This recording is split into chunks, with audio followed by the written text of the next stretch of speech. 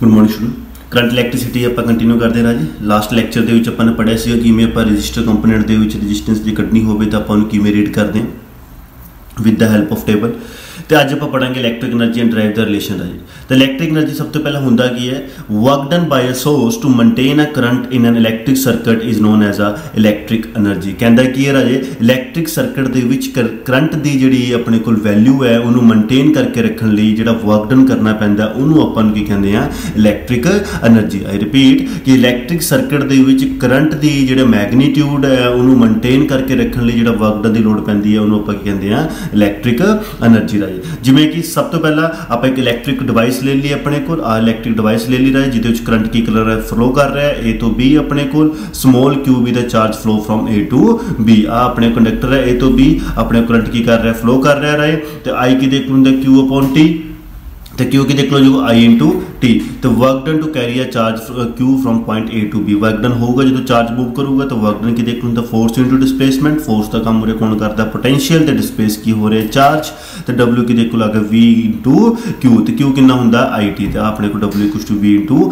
I T ਆ ਗਿਆ right ਤੇ ਸਾਰਾ ਵਰਕ ਡਨ ਕਿਹੜੀ ਫਾਰਮ 'ਚ ਸਟੋਰ ਹੁੰਦਾ? ਇਲੈਕਟ੍ਰਿਕ એનર્ਜੀ ਦੀ ਫਾਰਮ 'ਚ ਸਟੋਰ ਹੁੰਦਾ। ਇਸ ਕਰਕੇ ਵਰਕ ਡਨ ਆਪਾਂ ਕੀ ਲਿਖਦੇ ਰਹੇ ਈ e। ਇਹ ਆਪਣੇ ਕੋਲ ਇਲੈਕਟ੍ਰਿਕ એનર્ਜੀ ਦਾ ਫਾਰਮੂਲਾ ਹੋ ਗਿਆ। ਮਤਲਬ ਕਿ ਆਪਣੇ ਕੋਲ ਇੰਨੀ ਆਪਣੇ ਕੋਲ એનર્ਜੀ ਦੀ ਲੋਡ ਪਏਗੀ ਇੰਨੇ ਵਰਕ ਡਨ ਦੀ ਲੋਡ ਪਏਗੀ, ਉਸ ਸਰਕਟ ਦੇ ਵਿੱਚ ਕਰੰਟ ਦੀ ਵੈਲਿਊ ਨੂੰ ਮੇਨਟੇਨ ਕਰਕੇ ਰੱਖਣ ਲਈ ਰਾਜੀ ਠੀਕ ਹੈ ਜੀ? ਨੈਕਸਟ ਆਉਂਦਾ ਹੈ ਸਪੈਸ਼ਲ ਕੇਸ ਸਪੈਸ਼ਲ ਕੇਸ ਤੁਸੀਂ ਬਸ ਆਹ ਫਾਰਮੂਲਾ ਤੁਹਾਨੂੰ ਜਨਰਲ ਪਤਾ ਹੋਣਾ ਚਾਹੀਦਾ ਹੋਰ ਸਪੈਸ਼ਲ ਕੇਸ ਤਾਂ ਸਾਰੇ ਫਾਰਮੂਲੇ ਤੋਂ ਬਣ ਜਾਣਗੇ, ਜਿਵੇਂ v ਕੀ ਦੇਖ ਲਓ IR ਆ v ਦੀ ਜਗ੍ਹਾ ਆਪਾਂ ਕੀ ਪੁੱਟ ਕਰ ਦਈਏ? IR ਤਾਂ ਆਪਣੇ ਕੋਲ ਇੱਕ ਨਵਾਂ ਫਾਰਮੂਲਾ ਜਿਹੜਾ ਬਣ ਜਾਊਗਾ E ਕੀ ਦੇਖ ਕੋਲ I square into RT similarly E equal to VIT ਫਿਰ ਆਪਾਂ ਅਗੇਨ ਜਾਣਦੇ ਹਾਂ, ਉੱਥੇ I the value V upon R put ਕਰਦੇ ਹਾਂ, ਤਾਂ ਆਹ ਫਾਰਮੂਲਾ ਬਣ ਜਾਊਗਾ E equal to V square upon RT ਰਹੇ। ਓਕੇ ਨੈਕਸਟ ਆਂਦਾ ਹੈ ਇਲੈਕਟ੍ਰਿਕ ਪਾਵਰ ਇਲੈਕਟ੍ਰਿਕ ਪਾਵਰ ਪਤਾ ਹੀ ਹੈ ਦਾ rate of doing work is known as electric power ਮਤਲਬ ਕੰਮ ਕਰਨ ਦੀ ਕੈਪੇਬਿਲਿਟੀ ਨੂੰ ਆਪਾਂ ਕੀ ਕਹਿੰਦੇ ਆ ਆਪਾਂ ਪਾਵਰ ਹੈ ਆਪਾਂ। ਠੀਕ ਹੈ ਜੀ? ਤੇ ਪਾਵਰ ਕੀ ਹੁੰਦਾ? ਵਰਕ ਅਪਨ ਟਾਈਮ ਤੇ ਤੁਹਾਨੂੰ ਪਤਾ ਇੱਕ ਯੰਗ ਹੈ, ਇੱਕ ਆਪਣੇ ਕੋਲ ਆਪਣੇ ਕੋਲ 올ਡ ਹੈ, ਤਾਂ ਪਾਵਰ ਕਿਹਦੀ ਜ਼ਿਆਦਾ ਹੋਏਗੀ? ਓਬਵੀਅਸ ਹੈ ਯੰਗ ਦੀ ਜ਼ਿਆਦਾ ਹੋਏਗੀ। ਠੀਕ ਹੈ ਜੀ? ਤੇ power work upon time work ਦਾ ਫਾਰਮੂਲਾ ਤੁਹਾਨੂੰ ਪਤਾ ਹੀ ਹੈ, ਪਿੱਛੇ ਕਰਕੇ ਤੇ i square into rt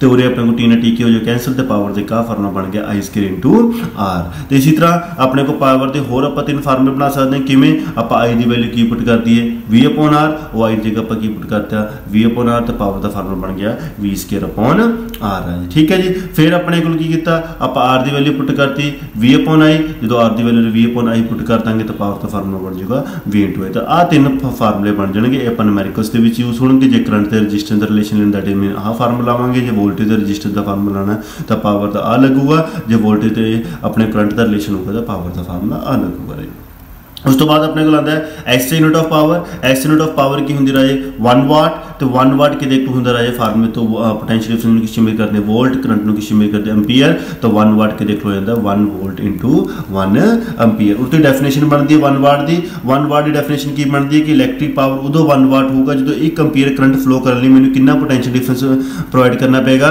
1 wallet, ਜਿਹਦੇ ਕਰਕੇ ਆਪਣੇ ਕੋਲ ਕਿੰਨੀ, ਆਪਣੇ ਕੋਲ ਵਾਟ ਪਾਵਰ ਮਿਲੇਗੀ, ਆਪਣੇ ਕੋਲ ਪਾਵਰ ਮਿਲੇਗੀ 1 ਵਾਟ ਮਿਲੇਗੀ ਰਾਜੇ। ਤੇ ਇਲੈਕਟ੍ਰਿਕ ਪਾਵਰ ਨੂੰ ਆਪਾਂ 1 ਵਾਟ ਉਦੋਂ ਕਹਿੰਦੇ ਆ ਜਦੋਂ 1 ਐਂਪੀਅਰ ਕਰੰਟ ਜਿਹੜਾ ਹੈ ਉਹ ਫਲੋ ਕਰ ਰਿਹਾ ਹੈ ਇਲੈਕਟ੍ਰਿਕ ਸਰਕਟ ਦੇ ਵਿੱਚ ਜਦੋਂ ਆਪਾਂ ਨੂੰ 1 ਵੋਲਟ ਪੋਟੈਂਸ਼ੀਅਲ ਡਿਫਰੈਂਸ ਕੀ ਕਰ ਰਹੇ ਆ? ਪ੍ਰੋਵਾਈਡ ਕਰ ਰਹੇ ਆ। ਉਦੋਂ ਜਿਹੜੀ ਆਪਾਂ ਨੂੰ ਪਾਵਰ ਮਿਲੇਗੀ ਉਹ ਕਿਦੇ ਇਕੁਅਲ ਹੋਏਗੀ? 1 ਵੋਲਟ ਦੇ ਇਕੁਅਲ ਹੋਏਗੀ। ਓਕੇ ਨੈਕਸਟ ਆਂਦਾ ਰਹੇ ਹੋਰ ਬਿਗਰ ਯੂਨਿਟ ਜਿਹੜੇ ਪਾਵਰ ਦੇ ਯੂਜ਼ ਹੁੰਦੇ ਨੇ ਉਹ ਕੀ ਹੁੰਦੇ ਨੇ ਰਾਏ? ਕਿਲੋਵਾਟ ਕਿਲੋਵਾਟ ਦੇ ਵਿੱਚ ਕਿੰਨੇ ਵਾਟ ਹੁੰਦੇ ਨੇ? 10 ਦੀ ਪਾਵਰ 3 ਮੈਗਾਵਾਟ ਚ ਕਿੰਨੇ ਵਾਟ ਹੁੰਦੇ ਨੇ? 10 ਦੀ ਪਾਵਰ 6 ਤੇ ਜਿਹੜੇ ਪ੍ਰੈਕਟੀਕਲ ਯੂਨਿਟ ਯੂਜ਼ ਹੁੰਦੇ ਨੇ ਪਾਵਰ ਦੇ, ਉਹ ਆਪਣੇ ਕੋਲ ਹੁੰਦਾ ਹਾਰਸ ਪਾਵਰ ਤੇ ਇੱਕ ਹਾਰਸ ਪਾਵਰ ਦੇ ਵਿੱਚ ਕਿੰਨੇ ਵਾਟ ਹੁੰਦੇ ਨੇ? 746 ਵਾਟ ਹੁੰਦਾ ਰਾਜੇ ਤੇ ਕਮਰਸ਼ੀਅਲ ਯੂਨਿਟ ਜਿਹੜੇ ਯੂਜ਼ ਹੁੰਦੇ ਨੇ ਕਮਰਸ਼ੀਅਲ ਯੂਨਿਟ ਕਿਹੜੇ ਯੂਜ਼ ਹੁੰਦੇ ਨੇ? 1 ਯੂਨਿਟ ਰਾਜੇ 1 ਯੂਨਿਟ ਕਿਤੇ ਹੁੰਦਾ? 1 ਕਿਲੋਵਾਟ ਆਵਰ ਦੇ ਕੋਲ ਹੁੰਦਾ। ਓਕੇ ਤੇ ਨੈਕਸਟ ਆਂਦਾ ਆਪਣੇ ਕੋਲ ਰਾਏ relation between kilowatt hour and joule ਤਾਂ ਰਿਲੇਸ਼ਨ ਜਬ ਕਰਨਾ ਹੋਵੇ ਕਿਲੋਵਾਟ ਆਵਰ ਐਂਡ ਜਾਊਲ ਦਾ ਤਾਂ ਆਪਣੇ ਕੋਲ 1 ਕਿਲੋਵਾਟ ਆਵਰ ਆਪਾਂ ਨੂੰ ਪਤਾ, ਉਹਨੂੰ ਵਾਟ ਚ ਕਨਵਰਟ ਕਰਨ ਲਈ 1000 ਵਾਟ ਕਰਨਾ ਪੈਣਾ ਹੈ। ਆਵਰ ਨੂੰ ਆਪਣੇ ਕੋਲ 3600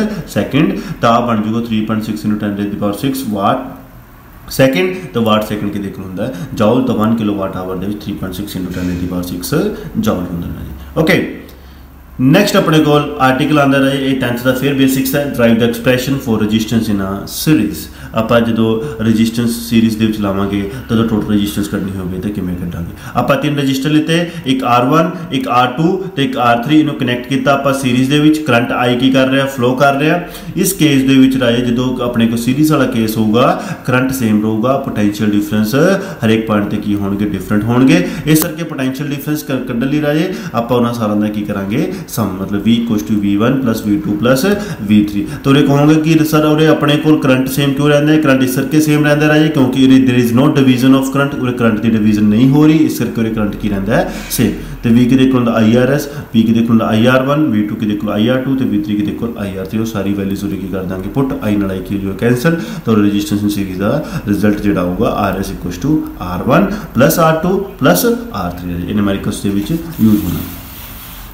ਨੈਕਸਟ ਨਾਲ ਹੀ ਆਰਟੀਕਲ ਆਪਣੇ ਕੋਲ ਡਰਾਈਵ ਦਾ ਐਕਸਪ੍ਰੈਸ਼ਨ ਫॉर ਦਾ ਰੈਜ਼ਿਸਟੈਂਸ ਇਨ ਪੈਰਲਲ ਰਹੇ ਤੇ ਇਹਦੇ ਵਿੱਚ ਆਪਾਂ ਨੇ ਫੇਰ ਅਗੇਨ ਤਿੰਨ ਰੈਜ਼ਿਸਟੈਂਸ ਲੈਣੀ ਹੈ ਇੱਕ R1 ਲੈਣਾ, ਇੱਕ R2 ਲੈਣਾ, ਇੱਕ R3 ਲੈਣਾ, ਇਹਨੂੰ ਕਨੈਕਟ ਕਰਨਾ ਹੈ ਪੈਰਲਲ ਦੇ ਵਿੱਚ ਤੇ V ਆਪਾਂ ਪੋਟੈਂਸ਼ੀਅਲ ਡਿਫਰੈਂਸ ਅਪਲਾਈ ਕਰਨਾ ਹੈ। ਤੇ ਜਦੋਂ ਪੋਟੈਂਸ਼ੀਅਲ ਡਿਫਰੈਂਸ ਅਪਲਾਈ ਕਰਾਂਗੇ, ਇਹਦੇ ਵਿੱਚ ਆਪਣੇ ਕੋਲ ਹੁਣ ਵੋਲਟੇਜ ਸੇਮ ਰਹੂਗਾ ਕਰੰਟ ਜਿਹੜਾ ਹੈ ਡਿਫਰੈਂਟ ਹੋਊਗਾ। ਇਸ ਕੇਸ ਦੇ ਵਿੱਚ ਆਪਾਂ ਕਰੰਟ ਦਾ ਸਮ ਕਰਾਂਗੇ, ਮਤਲਬ I I1 I2 I3 ਕਰਾਂਗੇ ਰਹੇ। ਕਿਉਂ? ਕਿਉਂਕਿ ਆਪਣੇ ਕੋਲ ਜਿਹੜਾ ਇਹਦੇ ਵਿੱਚ ਹੈ ਡਿਵੀਜ਼ਨ ਹੋ ਰਹੀ ਹੈ ਕਰੰਟ ਦੀ ਵਜ੍ਹਾ I ਕਿਹਦੇ ਕੋਲ V RP ਤਾਂ ਉਹ ਆਪਾਂ ਪੁੱਟ ਕਰ ਦਾਂਗੇ ਤੇ V ਨੇ V ਕੀ ਹੋ will cancel 1 upon r2 ਕੀ ਦੇਖੋ 1 upon r1 1 upon r2 ਤੇ 1 upon r3 ਤਾਂ ਇਸ ਕਰਕੇ ਆਪਾਂ ਅੱਜ ਟੌਪਿਕ ਪੜਿਆ ਰਹੇ ਇਲੈਕਟ੍ਰਿਕ એનર્ਜੀ ਇਲੈਕਟ੍ਰਿਕ એનર્ਜੀ ਕੀ ਹੁੰਦਾ ਕਿੰਨਾ ਵਰਕ ਡਨ ਮੈਨੂੰ ਕਰਨਾ ਪਏਗਾ ਕਿਸੇ ਸਰਕਟ ਦੇ ਵਿੱਚ ਕਰੰਟ ਨੂੰ ਮੇਨਟੇਨ ਕਰਕੇ ਰੱਖਣ ਲਈ ਫਿਰ ਆਪਾਂ ਨੇ ਪੜਿਆ ਪਾਵਰ ਆਏ ਪਾਵਰ ਦੇ ਯੂਨਿਟਸ ਪੜੇ ਇਲੈਕਟ੍ਰਿਕ એનર્ਜੀ ਦੇ ਫਾਰਮੂਲੇ ਪੜੇ ਫਿਰ ਰੈਜ਼ਿਸਟੈਂਸ ਇਨ ਸੀਰੀਜ਼ ਤੇ ਰੈਜ਼ਿਸਟੈਂਸ ਇਨ ਪੈਰਲਲ ਹੈ ਇਸ ਤੋਂ ਬਾਅਦ ਇੱਕ ਲੈਕਚਰ ਹੋਰ ਹੈ ਇਹ ਤੁਹਾਡੀ ਪਹਿਲੀ ਸਬਯੂਨਿਟ ਖਤਮ ਹੋ ਜਾਏਗੀ ਫਿਰ ਆਪਣੇ ਕੋਲ ਸੈਕੰਡ ਸਬਯੂਨਿਟ ਜਿਹੜੀ ਹੈ ਸਟਾਰਟ ਹੋਏਗੀ ਓਕੇ ਥੈਂਕ ਯੂ